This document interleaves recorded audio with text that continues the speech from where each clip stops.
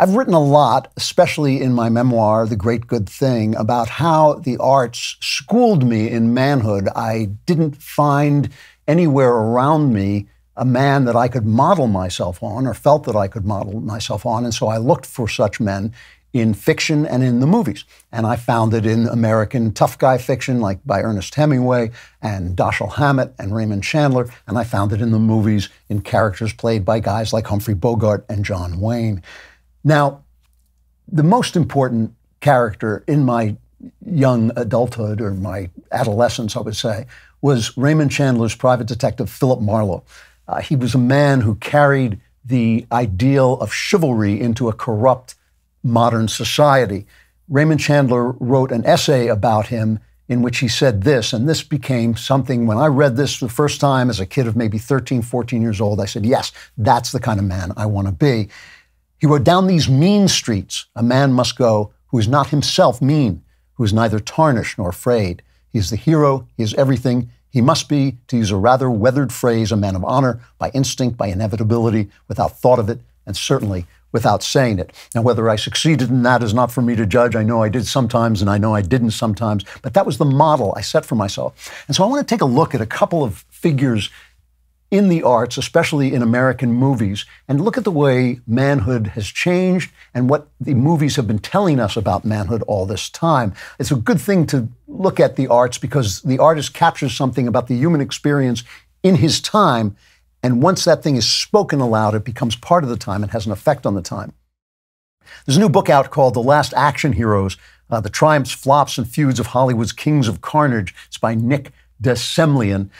And it charts what I think is one of the most interesting developments in the way men are presented in the culture and have been presented in my lifetime. I noticed it when it was going on, but it's interesting people are writing about it now. The old movies, see, I grew up watching old movies because there were no recording devices, there were no VHS machines or streaming, so a movie came to the theater and it left. The only movies on TV were old movies, the movies my mom and dad would watch in the theater. The same movies they saw in the theater were the only movies on TV. So I saw a lot of old movies. And in these old movies, a man, an action man, a man of action, was ready for action, but he didn't necessarily want to go into action. Action was not a good thing. It was just something he was ready to do when he had to do it. Here's just a quick famous scene of John Wayne in a movie called McLintock, which is kind of a Western comedy. A guy has been hitting Wayne in the stomach with a rifle, hitting him again and again, bullying him. And eventually Wayne takes the rifle away from him. This cut 10.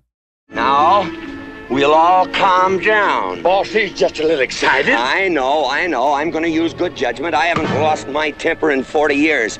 But, Pilgrim, you caused a lot of trouble this morning. Might have got somebody killed. And somebody ought to belt you in the mouth. But I won't. I won't. The hell I won't. the hell I won't. In other words, he doesn't want to lose his temper. He's not supposed to lose his temper. He hasn't lost his temper in 40 years, but when the time comes, he is ready for action. Now, then came the revolutionary 1970s, and the image of a man became kind of intellectual and ethnic and kind of inward and offbeat. Actors like Dustin Hoffman, Al Pacino, Robert De Niro, they were troubled men trying to find a code in a kind of corrupt, lost world. It was really in the 1980s when things changed, and that's what this book is about. Suddenly, there were all these really, really muscle bound stars like Arnold Schwarzenegger, uh, Sylvester Stallone, to a lesser extent, Bruce Willis. They were almost cyborgs. They were almost, they were defined by violence and action. That's all they did in the movies. Here's a scene from The Terminator where Arnold Schwarzenegger is playing a literal cyborg, but it shows you kind of what I mean. I need your clothes, your boots, and your motorcycle. hey. you forgot to say please.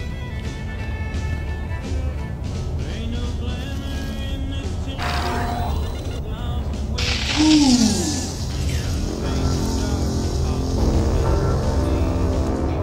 Ah. Oh.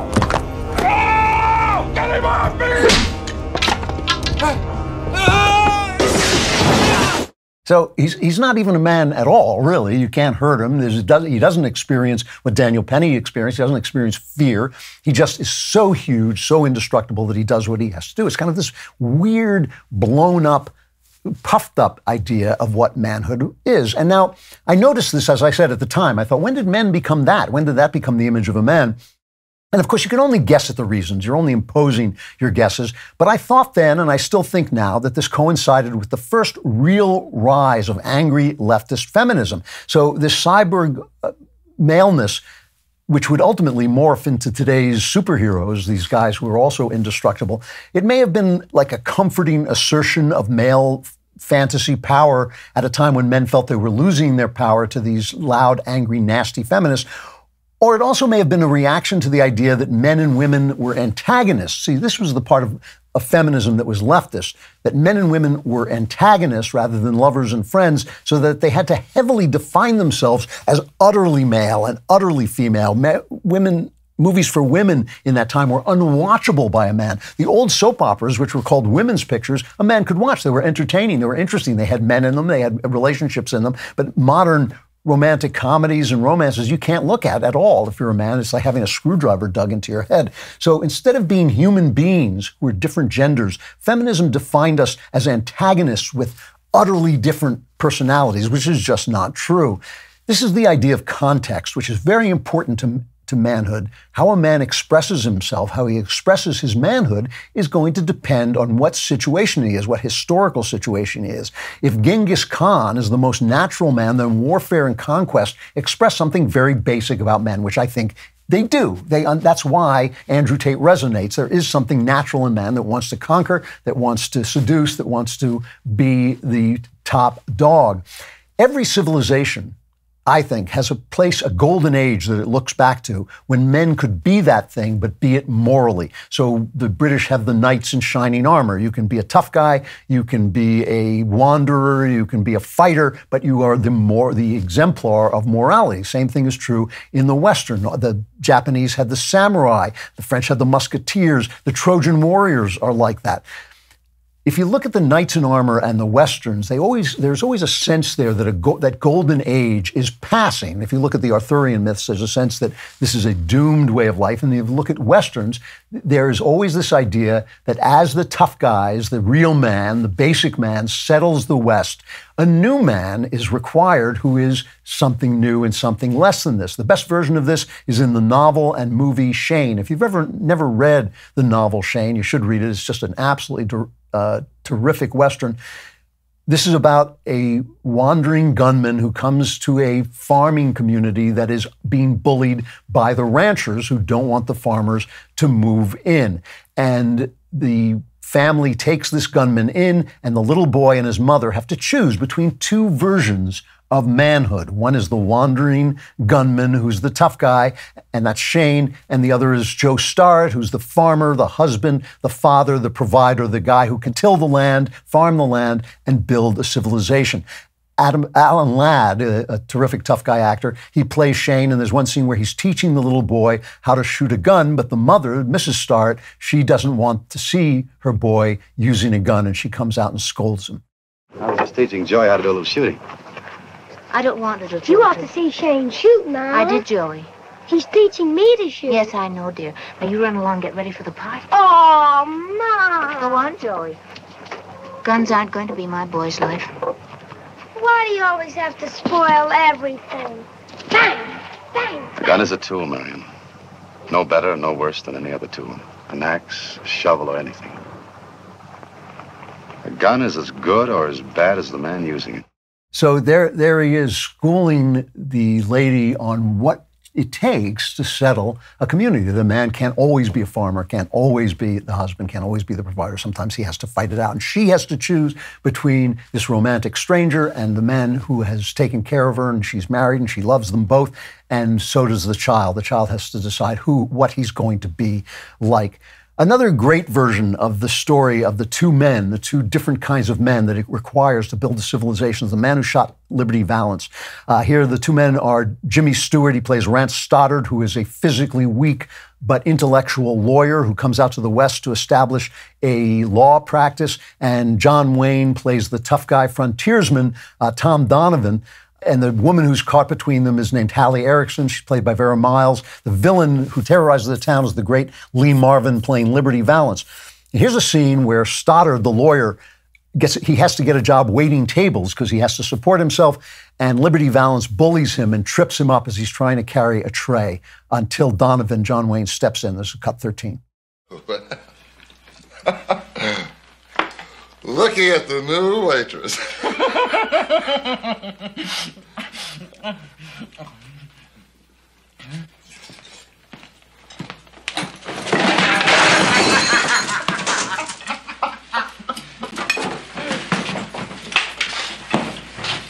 That's my steak, Valance.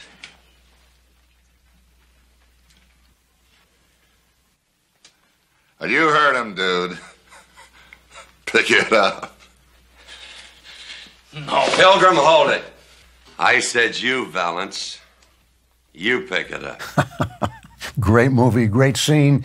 Jimmy Stewart has courage. He's going to go after him, but he's going to get killed if he does because he's not John Wayne. And in the end, uh, spoiler alert, in the end, the lawyer, Jimmy Stewart, has to face off in a duel with Liberty Valance and shoots Liberty Valance dead. And on the glory that accrues to him from that duel, he becomes a senator, rises, becomes an ambassador to England, and is now on the verge, if he wants to, to becoming the vice president of the United States. He comes back when Tom Donovan dies as an old man, and he tells his story to the reporters, and the reporter tears the story up. Famous line from this movie, The Man Who Shot Liberty Valance, cut 14. Well, you're not going to use the story, Mr. Scott? No, sir.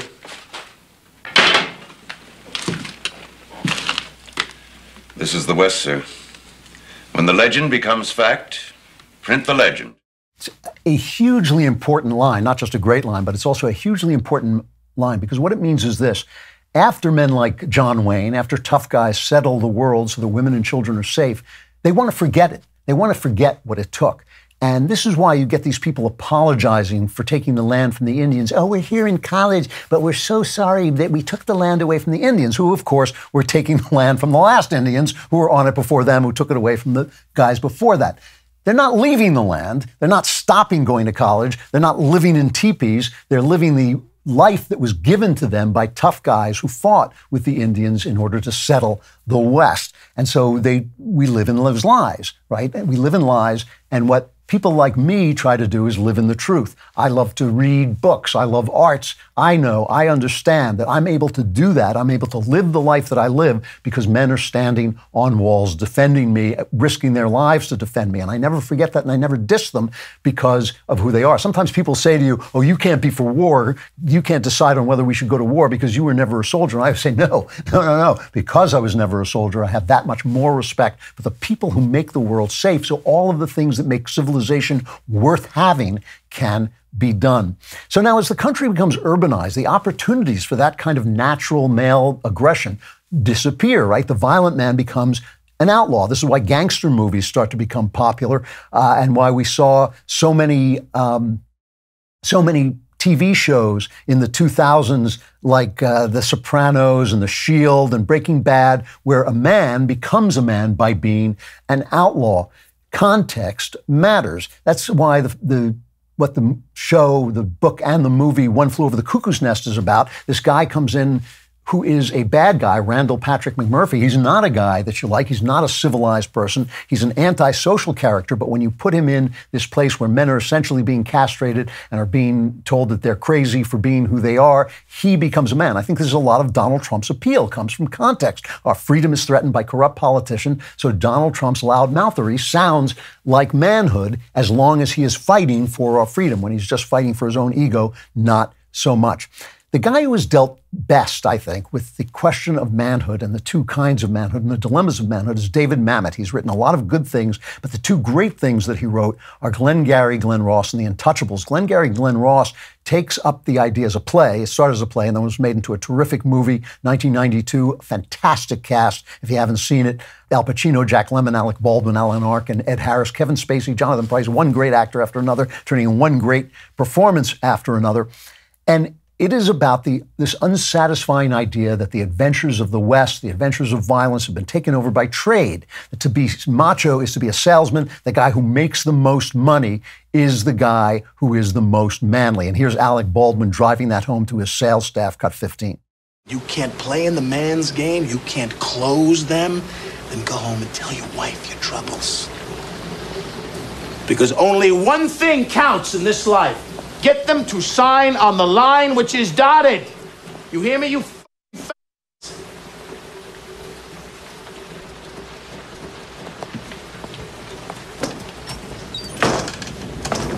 A, B, C. A always B, B, C closing. Always be closing.